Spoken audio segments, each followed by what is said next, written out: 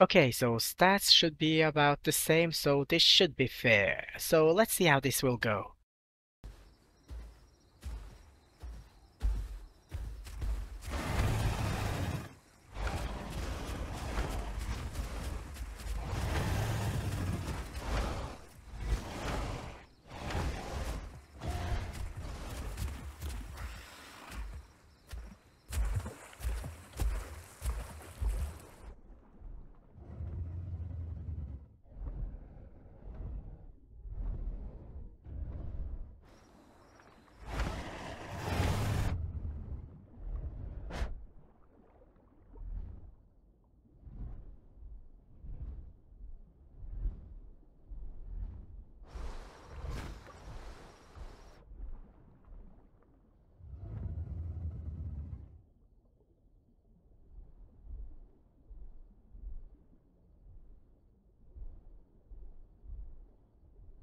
And the underwater battle in this murky water, with his higher mobility, he has the advantage.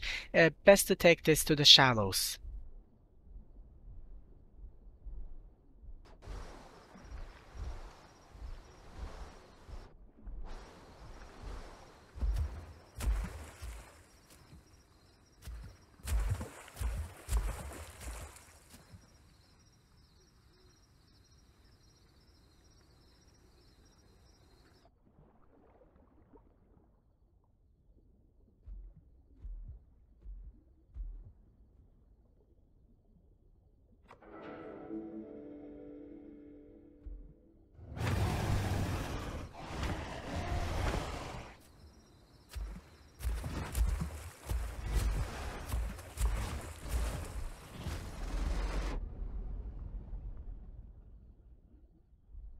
There can only be one king of the water.